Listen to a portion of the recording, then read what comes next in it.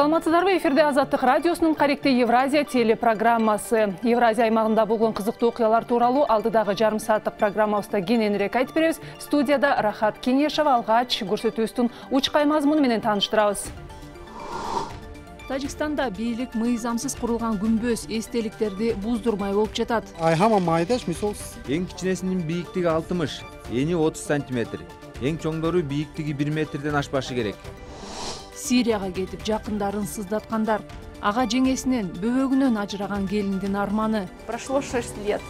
Андан бери алты жыл алты ороз өттү агам кайткан жок бир да күнүн атсыз элестете албаган игорь ал касапканага сойгон алып келишкен жылкыларды сатып алып багат. Малга жакын болсоң жашооң да гармонияга сүйүүгө толуп турат. Кыйынчылыктар боло берет деңизчи бирок алар анча оор сезилбейт кечиримдүү болуп каласың кыргызстанда көрүстөн маселесине байланыштуу талкуулар дали уланууда. Маркумдун диний ишенимине жараша көмүү жөрөлгөсүн жөнгө салуу максатында атайын нускаманын долбоору иштелип чыккан ал азыр коомдук талкууда. Эгер ошол нускама кабыл алынса сөөктү жерге берүүдө диний көз караштан улам чыккан чыр чатактарды алдын алууга шарт түзүлөт себеби буга чейин мусулманчылыктан башка динди тутунган адам каза болгондо аны өзү жашаган айылдын көрүстөнүнө коюуга айрым жергиликтүү тургундар каршы чыккан учурлар болгон. Ошол эле учурда көрү сатуу деген кыргызстанда коомчулуктун назарындагы суроолордун бири. Айрыкча бишкекте жана шаардын четиндеги айылдарда жер тартыш болгондуктан маркумдун туугандары сөөк коюуга жерди чоң акчага сатып алып жатышканы тууралуу өкмөттө дагы парламентте дагы ачык айтылган. Ал эми маркум кесиптешибиз улан эгизбаев бул көйгөйдү жеринен барып иликтегенден кийин башкы прокуратура үч кылмыш ишин козгогон болчу ал эми коңшу тажикстанда бийлик мыйзамсыз курулган күмбөз эстеликтерди буздурмай болуп жатат. Бул тууралуу буйрук эки жыл мурда чыккан быйыл ошол талаптар аткарылып жатабы же жокпу тиешелүү органдар текшере башташты. Бирок мамлекеттин тапшырмасы менен салынган же тарыхый мааниси бар диний жана маданий эстеликтер буздурулбайт. Бул тууралуу өкмөт эмне деп жатат диний аалымдардын пикири кандай? Сөз тажикстандагы кесиптешим анушервон ариповдо кымбат баалуу күмбөз жана эстеликтер тажикстандын аймагында анча көп деле эмес. Ислам мазарларды ашыкча кооздогонго жол бербейт дешет. Бирок айрымдар ага акчасы жок экенин айтууда. Сөөк коюлган жерди таппай калбаш үчүн үстүнө белги коюш керек. Бирок ашыкча кооздоонун кереги жок. Үстүнө бирдеме курган туура эмес. акчаң болсо атаң менен апаңдын мүрзөсүнө сыйынуучу жай да салып койсоң болот ал эми акчаң жок болсо жөн эле таш коюп койсо уруксат таш көрүстөндү кийин таппай калбаш үчүн коелу ар кимдин чамасына жараша да чоң кылбай эле койгон туура. Билбейм исламда кандай жазылса ошондой туура. Чоң эстеликтер буздурула баштайт деген кабарлар социалдык түйүндөрдө негизинен нейтралдуу комментарийлерди чогултууда. Бирок таптакыр каршылар да бар. Что за страна? Эмне деген өлкө? Сөөктөрдү казып чыгарып өлгөнүңөр да мыйзамсыз дейсиңерби эми уят эле бирде салык деп чыгасыңар бирде сим карта же интернет. эми мүрзөлөр өкмөттүн мындан башка кылаарга иши жокпу. Юсуф душанбе шаарында таштан эстелик жасап иштейт. Өтө чоң эстелик жасатам дегендерден ал дароо баш тартат. Өкмөттүн токтому чыкканын ал эки жыл мурда эле уккан. Бир да сантиметр ашырбайм дейт уста. Эң кичинесинин бийиктиги алтымыш эни отуз сантиметр. Эң чоңдору бийиктиги бир метрден ашпашы керек. Стандарттан ашык жасабайбыз. Учурда прокуратуранын жана жерге жайгаштыруу комитетинин өкүлдөрү баардык көрүстөндөрдү текшерип жатышат. Буга чейин орнотулган чоң эстеликтер буздурулбайт. Болгону жаңыларын тургузууга уруксат берилбейт. Ал эми күмбөздөр боюнча өзүнчө тизме түзүлөт алардын кайсынысын бузуп кайсынысын калтырыш керек экенин экспертиза чечет. Аслан кабр жой хароба. Аст исламда мүрзө бул адамдын акыркы жайы. Үстүнө күмбөз куруп эстелик орнотуу туура эмес. Ошондой эле чоң чоң таштар менен бастырган да болбойт. Андайды пайгамбарыбыз да жактырган эмес. Өкмөттүн буйругу менен курулган жана диний маданий тарыхый баалуулугу бар күмбөз эстеликтер текшерүүгө алынбайт шари хамин хадис уламой бузурги ислам хадистерди изилдеп чыккан аалымдардын айтымында эл үчүн жакшы иш жасаган белгилүү адамдарга эстелик орнотсо болот себеби кийинки муундар ошолордун жакшылыгын унутпашы керек каза болгон жакындарына күмбөз тургузган адамдарга айып пул салынбайт эгер мыйзамга туура келбесе аларды сүрдүртүп коюшат өкмөт көрүстөнгө чоң эстелик орноткондун ордуна ушул акчага жол мектеп же көпүрө куруп суусу жок отурган айылдарга ичүүчү суу тарттырып берүү соопчулук болоорун айтууда. Албетте көзү өтүп кеткен жакындардын ар бирин эскерип туруу парз баса быйыл тилектер айтылып куран окутулуучу кадыр түн отуз биринчи майдан биринчи июньга караган түнү белгиленерин муфтият маалымдады ал арада туугандары балдары сирияга кеткен кыргызстандыктардын жакындары. Аларды кайтарып келүүгө жардам берүүнү өтүнүп президент сооронбай жээнбеков баштаган бийлик бутактарынын жетекчилерине кайрылуу жолдошту. Алар бишкекте маалымат жыйын өткөрүп сирияга алданып кеткендерге мунапыс жана психологиялык социалдык жардам берүүнү өтүнүштү. Согуш оту алоолонуп турган өлкөгө бири алданып бири куру азгырыкка берилип дагы бири диний көз карашынан улам кеткендерди азырынча казакстан жана тажикстан улам ташып алып келип жатат. Кыргызстан аракет көрүлүп жатканын айтууда азаттыктын кабарчылары дал ошол адамдар тууралуу даректүү тасмаларды тартып жатканын буга чейинки көрсөтүүлөрүбүздө айттык эле. Азыр назарыңыздарга ошол тасмалардын бирин тартуулайбыз. Ал казакстандык эркин аттуу жигиттин кайгылуу окуясы.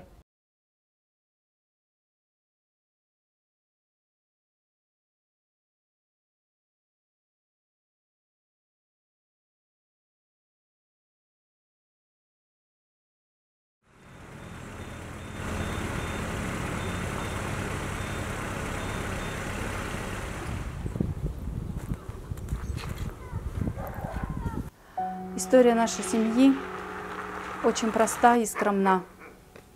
Мой брат стал жертвой неправильного толкования. үй бүлөбүздүн баяны эң жөнөкөй менин агам исламды туура эмес чечмелөөнүн курмандыгы болду бул окуя биздин жашообузду таптакыр башка нукка бурду биз борбордук казакстанда жаңы арка районунун ата суу айылында төрөлгөнбүз ата энем карагандага көчүп келгенде мен жети жашта элем агам тогузда болчу мектепте жакшы окуп агам спортто ийгиликке жетише баштады ал кикбоксинг боюнча спорт чебери болду Брат подавал большие надежды. Он стал мастером спорта по кикбоксингу.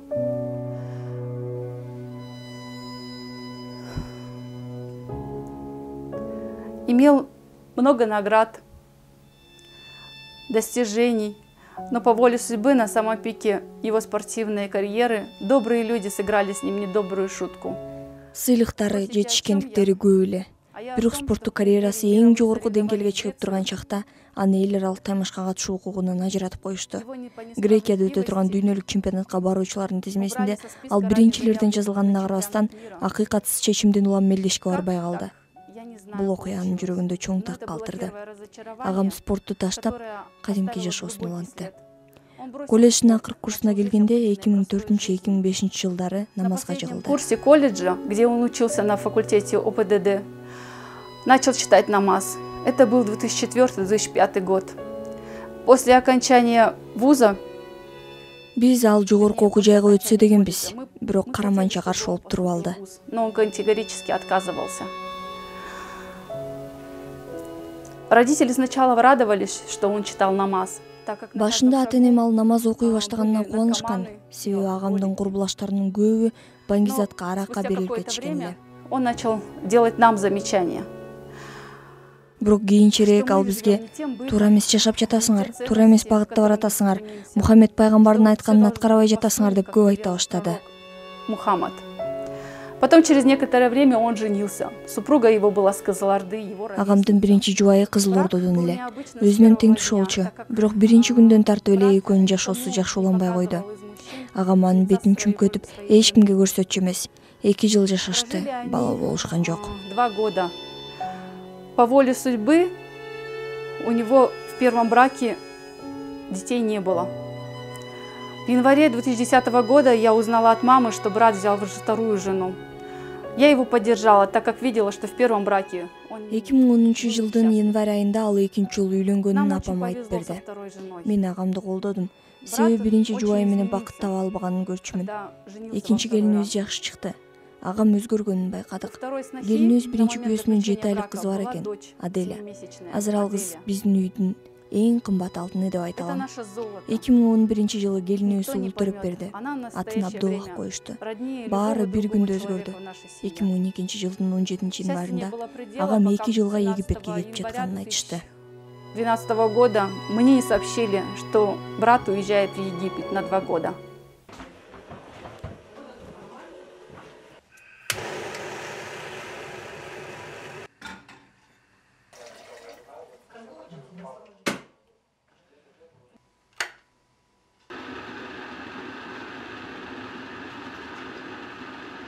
Восемнадцатого января рано утром в шесть утра я выехала в Караганду. он сегизинчи январда таң эрте туруп агамды жана үй бүлөсүн жолго узатайын деп карагандага жөнөдүм жетишип калдым. Экөөбүз бир аз сүйлөштүк. Эки эле жылга кетип жатканын айтты. Кайтып келгенче ата энеме баш көз болуп туруумду суранды. в казахстане присмотри за родителями.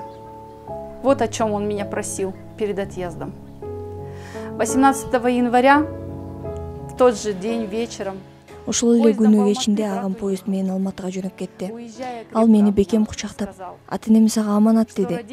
көрсөм мага айтып калган акыркы сөзү ошол болгон экен. келиниме жалынып жалбарып эч болбогондо сен балдар менен калчы десем такыр укпай койду бейиш күйөөнүн таманында деп жооп берди ал. Сколько я не просила сноху остаться с детьми она не соглашалась говоря мне что в рай в ногах мужа.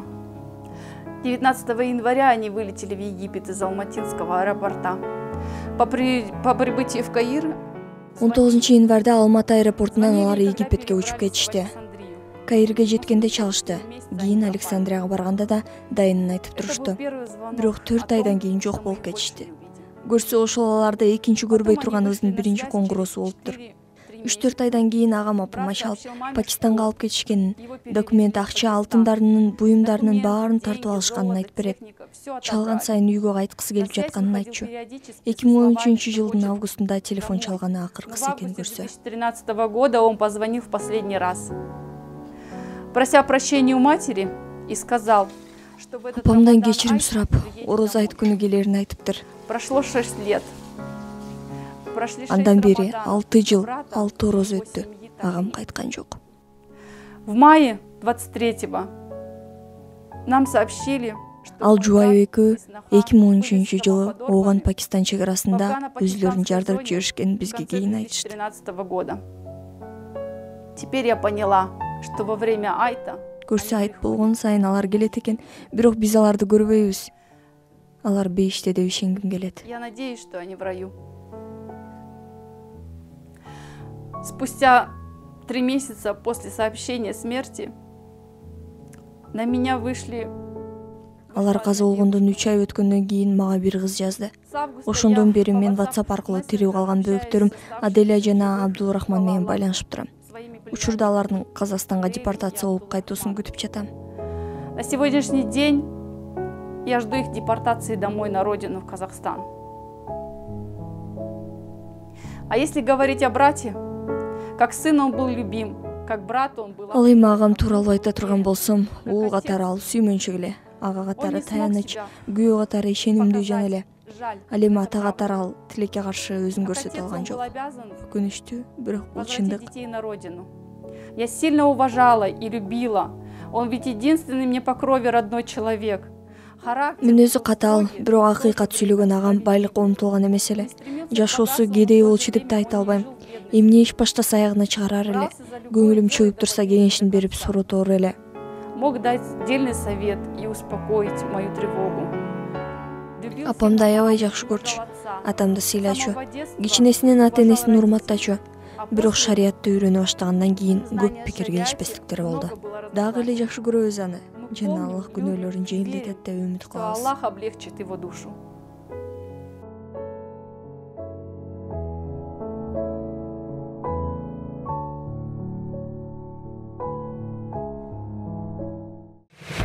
азаттык социалдык тармактарда фейсбукта кыргыз азаттык үн алгысы твиттерде азаттык радиосу вконтакте жана инстаграмда азаттык kg одноклассникте азаттык youtube каналыбыз азаттык медиа. Баардык жаңылыктар видео жана уктуруулар сиздин алаканыңызда сиздер азаттык радиосунун каректей евразия телепрограммасын көрүп жатасыздар. Азыр көрсөтүүбүздүн экинчи бөлүгүнө өтөбүз ат адамдын канаты көрсөтүүбүздүн кийинки каарманы дал ушул уран менен жашап келет. Орусиянын краснодар крайынын тургуну игорь чередий жубайы жана эки кызы менен айылга көч барып отурукташып калганына жыйырма жылдай болду. Ал картайып же ылаңдап калган сойгон алып келишкен жылкыларды сатып алып багат. Касапчылар ага өзүлөрү чалып жыйырма беш отуз миң рубль турган жылкыларды бир аз кымбатыраак сатышат. Себеби игорь баасына карабай баарын сатып аларын билишет настоящее время долбоорунун тасмасы назарыңыздарда.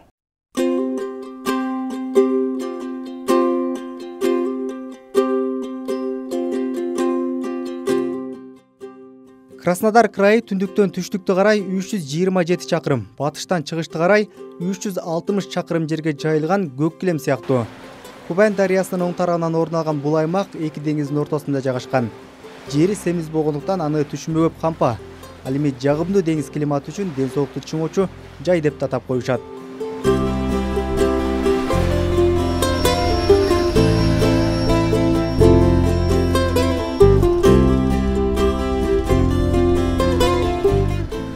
поезд менен москвадан краснодардагы курортторго чейин болгону бир сутка убакыт жолду бойлой чексиз эгин талааларын көк шебер жайыттарды көрүүгө болот.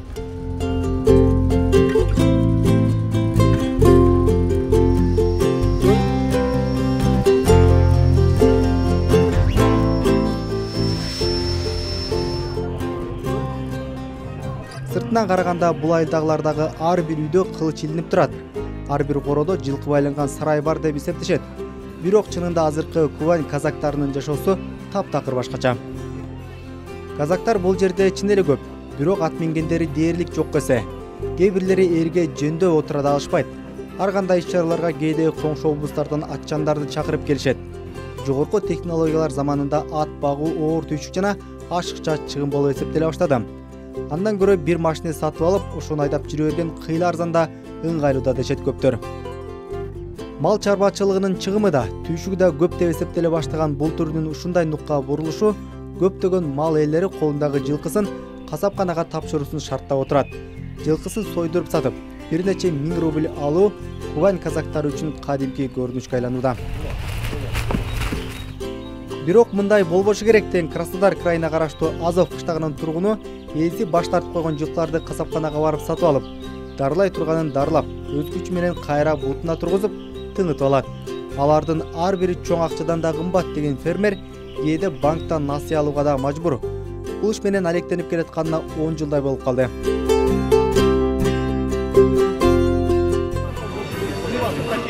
Тогузунчу май. Жеңиш парады. Краснодар казактары ата бабаларынын салтын улантып майрамдык формачан чыгышты. Бирок бир да ат минген казакты көрө албайсың. Эгер мурда аты жок да казак болмок беле дешсе эми ат мингендер дээрлик жок эсе. Надо жить э, казактардын үрп адатын улантып аздектеп жашаш керек да. Парадка чыгып куру сүйлөгөндөн эмне пайда. Иш менен көрсөтүш керек. Надо делами жить.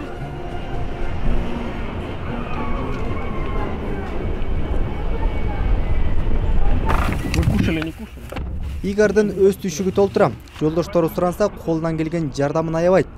Бүгүн да жылкыларын салып алып жолго чыкты. Ну когда вот союз развалился. Союз тарап жылкы баласы эч кимге кереги жок боло баштаган учур эле.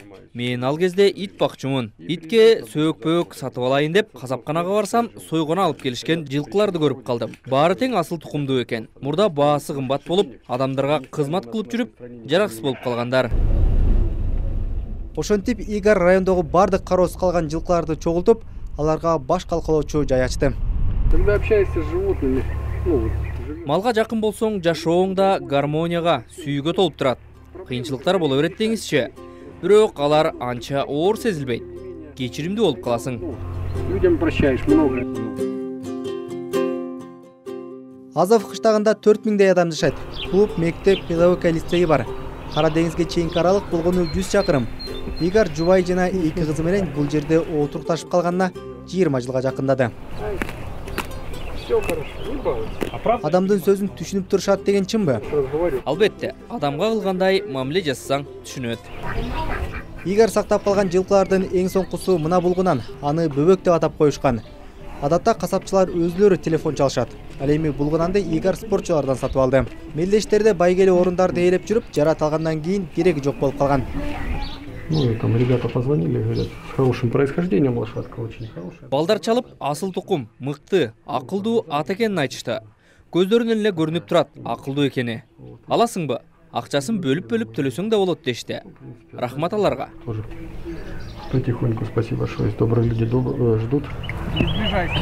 игар багып алган жылкылар карып калган же ылаңдап кеткендиктен ээси баш тартып койгондор алардын баары бир кезде адамга кызмат кылышкан орточо баасы жыйырма беш отуз миң рубль. Бирок касапканада иштегендер аларды игарга бир аз кымбатыраак сатышат. Себеби сөзсүз сатып аларын билишет. Просто выкупали без всяких там. сүйлөшүп эгер келишсек сатып ала бердим. Дарылап тыңытып койгондоруна кардар чыкса сатабыз. Приходят и люди.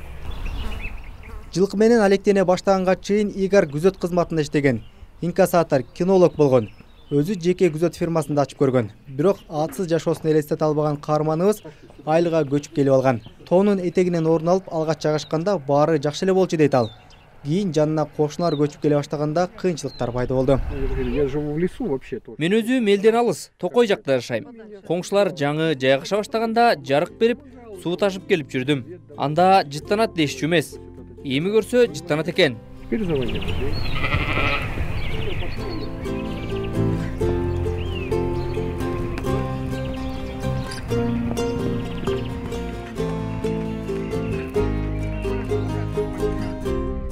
Игардын чарбасы көбүнө жакпайт айылдаштары жыттанып жатат деп ар кайсы мекемелерге арызданышат. Айып пул салып жазалатышат. Бирок игар баары бир жылкыларды коргоо ишин улантып келатат адамдардан коргойт. Администрацию начинает. администрацияга ветеринарияга жазышат. Улам айып пул төлөйм как, залазит тебе в карман просто и все. А что эмне деп даттанышат? Запах, воня. сасыйт дешет Все не нравится, то, что они ходят. коңшулар ошентип нааразы болуп жаткан чакта игар талыкпай эмгектенүүсүн улантып келет. Негизги жардамчысы кичүү кызы. Он үч жаштагы елизавета да атасындай малга жакын. Алар алып кет. Же болбосо бул жылкыны соебуз деп айтышты. Бул атты игар сыгандардан сатып алган. Аны цирктин аренасынан чуркатып көрүүчүлөр менен сүрөткө түшүү үчүн пайдаланып келишкен эми картайганда эч кимге кереги жок болуп калганда сатып жиберишти. А есть лошади, которые ни в чем не виноваты? кээ бир жылкыларды ээси жөн эле тажаганынан касапканага өткөрөт. Сатып кардар издеп убара болбоюн дейт. Бирок жылкынын этинен байып деле кетпейсиң. Хотя много выгоды не получишь мясо с лошади. жылкы кармаган адамдын түйшүгү көп. Күнүмдүк тойтун камдап суусун берип карап туруш керек. Жылкыдан тышкары игар кой эчки тоок багат бир кездери бука да кармачу. Говорят, вот там, там, ну, дал бы ты там, допустим. жылкынын акчасынын ордуна бука болсо алат элек дешкенинен бука бактым бирок алар оттогон жери булганып калса баягы эле кошуналар нааразы болуп чыга башташты. Бирок бул табигый нерсе да. Со двора выхожу, везде какашки. жер суу баарына бир дегени менен ар бир талдын өз ээси бар. Игардын гана жеке өзүнө таандык жайыты жок. Ошондуктан ал жерди ижарага алат бирок ар бир малдын артынан карап жүрүү мүмкүн эмес дейт игар игар кошуналары менен да бийлик менен да сый болгусу келет. Аттарын күзөт үчүн пайдалангыла. Мектеп окуучуларына ат мингенди үйрөткүлө деп администрацияга сунуш кылган. Бирок кызыккан бир да жан жок. Собер баш тоосу деңизге бараткан жолдо жайгашкан. Аны жез кемпирдин тоосу деп атап коюшат.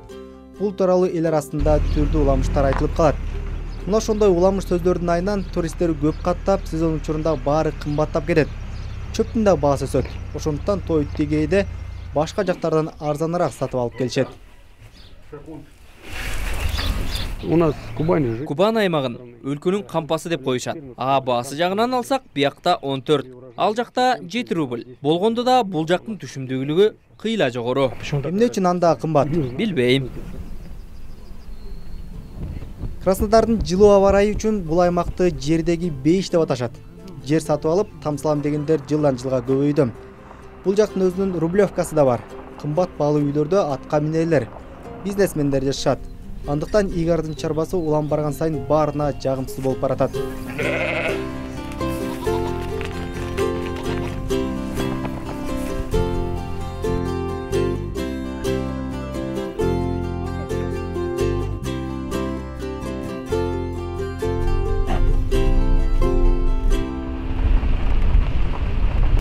игорь сыяктуу жашоосун атсыз элестете албаган кубандыктардын дагы бири инга Это мустанчик мой первенец, два года жеребец.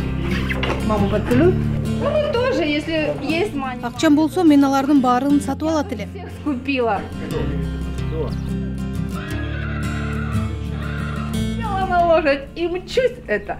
эркиндикти эч бир акчага сатып ала албайсың бул кымбат нерсе И дорогого стоит, как говорится. Ну, бир нече жыл мурда инга өлкөнүн түндүгүнөн түштүккө көчүп келген. Мурда талыкпай иштеп жүрүп тапкан акчасынын баарын кыялын орундатууга жумшап келет. Үйүмдүн курулушу аяктай элек бирок мага аттарым орун алганы маанилүү дейт. Лошадей сохраняем, да, это самое. жылкыларды сактап келе жатабыз. Асыл тукум жагын камсыз кылууга азырынча каражатыбыз жок. Бирок бул кандай мээнет экенин түшүнгөн баалай билген адамдар бизге суктанып кандай чоң иш кылып жатасыңар деп айтышат түшүнбөгөндөргө таарынбайм Вообще. А недалекие, ну, я на них не обижаюсь. бул ферма инганын бизнеси дагы ал ат минип эс алууну каалагандарды тейлейт иппотерапия кызматында көрсөтөт түйшүгүм жеңил эмес дейт ал Тяжело очень. Ну, слава богу, мне помогают. албетте оор эле мага балдарым досторум жардам беришет администрация дагы жазалагандын ордуна жардам берсе болот эле. Бизге бул жакта баары каршы. Жылкы бакканым үчүн. Все ополчились на меня. Из-за лошадей. бул жерде да ошол эле окуя. Кошуналар каршы. Инга алардын ар бири менен сүйлөшүп ат адамдын канаты экенин түшүндүрүүгө аракет кылат.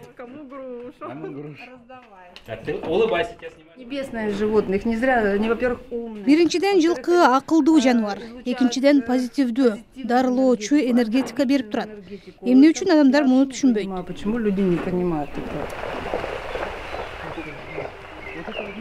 игорь тоого барып келгенче жылкылары оттоп алыска кетип калышты малчылар көрбөй калып алар элдин короосун аралап кеткендиктен кайрадан арыздаттануулар башталат кээде бул үчүн соттошкон учурлар да болот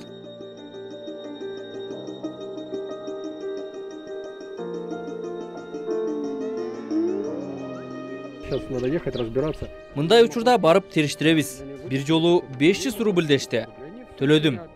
Ага болбой сотко беришти миң рубль төлөдүм. Анан беш миң деп чыгышты мен ушундан көрө камап салгыла. Отуруп чыгайын бирок бир да тыйын төлөбөйм дедим. Ата энем төлөп койгула дешет. Анын эмне кереги бар? Игорь мунун баарына кыздар үчүн чыдаганга даяр. Алар да атасын тартып аттарды жакшы көрүшөт.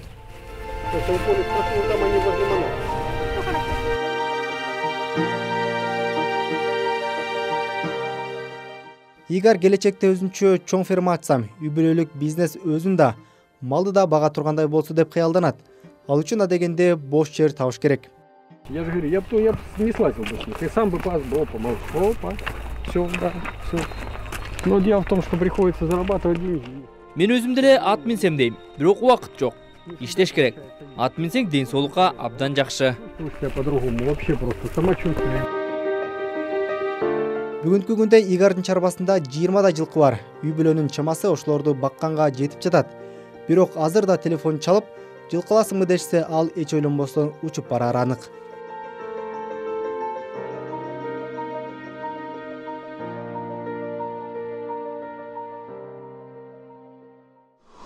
кадырман көрөрман мына ушул видео баян менен программабызды жыйынтыктайбыз азаттык радиосунун интернеттеги расмий сайтына кирип биздин берүүлөрүбүздү көрсөңөр болот. Каректе евразия телепрограммасынын архиви сайтыбызда дагы ютубтагы каналыбызда дагы бар.